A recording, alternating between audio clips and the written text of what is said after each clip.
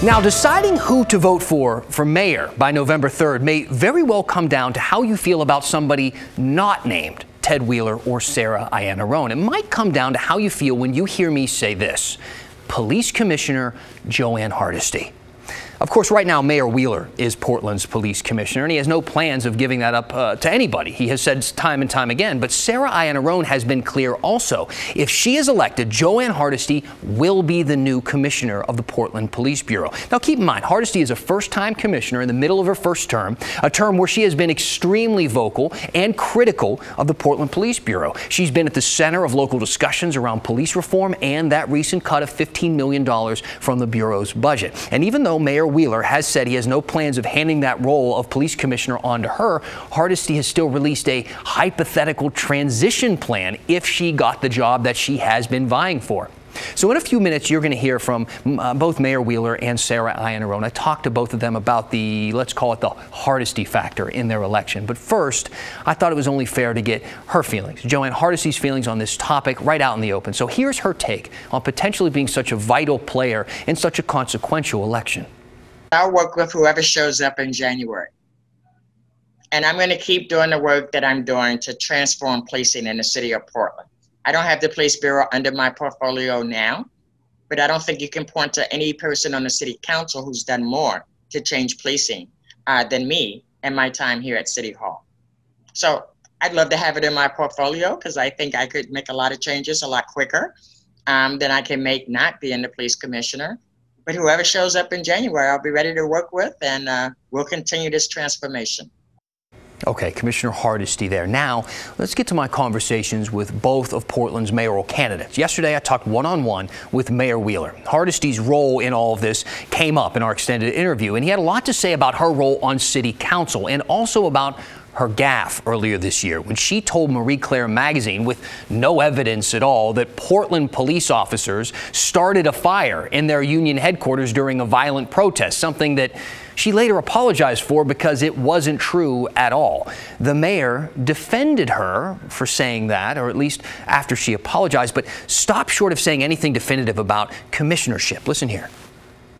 How important do you think Jo Ann Hardesty will be to this mayoral election?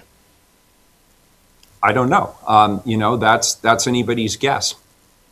You know, I, I get along with, with Commissioner Hardesty. We we agree on some things, we disagree on others, but we have a good professional working relationship, and I expect that to continue. Well, she came out with her kind of plan. She continues to lobby to be police commissioner. She had her kind of four or five point plan, and you have said time and again that it kind of mirrors things that you're doing or have already done. Um, you have also said, and you, you said to the Willamette Week that she has made some statements that make it problematic for her to be the police commissioner. And I assume you're talking about the interview she did in Marie Claire magazine, where she made some accusations against police starting fires that were were untrue. Does that still weigh into your decision making when it comes to her taking that type of leadership role?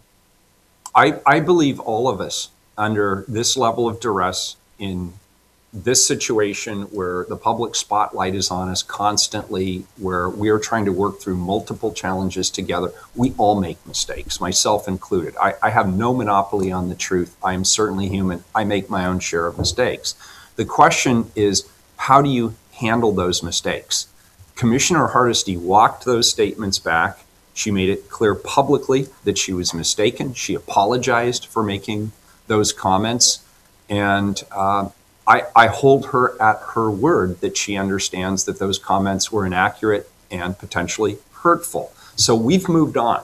Now the question is, where do we go from here? And I've told Commissioner Hardesty, as I've told other folks, let's wait and see who is on the council come January. Let's have a council wide discussion about the best way to allocate bureaus. I've made it clear that all bureaus, including the police bureau, are on the table for consideration. All right, so that's Mayor Wheeler's take on Hardesty's lobbying to be the police commissioner. Reluctant to say one way or another whether he supports her for it, though he has had plenty of chances to give her the job. After I talked to him, I talked to Sarah Iannarone, and I wanted to get her take on the mayor's answer that you just listened to and her support of Hardesty for the role of police commissioner. Here's Sarah Iannarone. Do you think that he is being political there, or do you think that there is a potential that if he did win, she would be given that kind of position? I mean, of course, he's being political there. That's all we get from this person. And so I don't know why we would expect anything different. You know, he's been very dismissive of her. She stepped up and offered to help in the middle of a crisis, which was clearly out of his hands um, in terms of being able to manage it. And the disregard, I think, for someone of his power and his position to say, I hear you that you want to step up and take leadership on this role, and I will do what I can to support you in that, would be what he should be doing as mayor, in my opinion, and what I will be doing as Portland's next mayor, which is saying we're going to tap into your capacity here. We're going to tap into your experience, your knowledge, and your connection to the community. We'll put you in this role make sure that you're supported fully in that role, that you have the full backing of city council. And then I'm going to use everything that I can do across the other city bureaus to make sure that you're successful there. That's the kind of leadership that we need right now. And it's one reason, again, Wheeler's failure to act like that is why I believe that we're in the situation that we're in. He's admitted it himself. He tries to go it alone. He doesn't tap into his colleagues for help.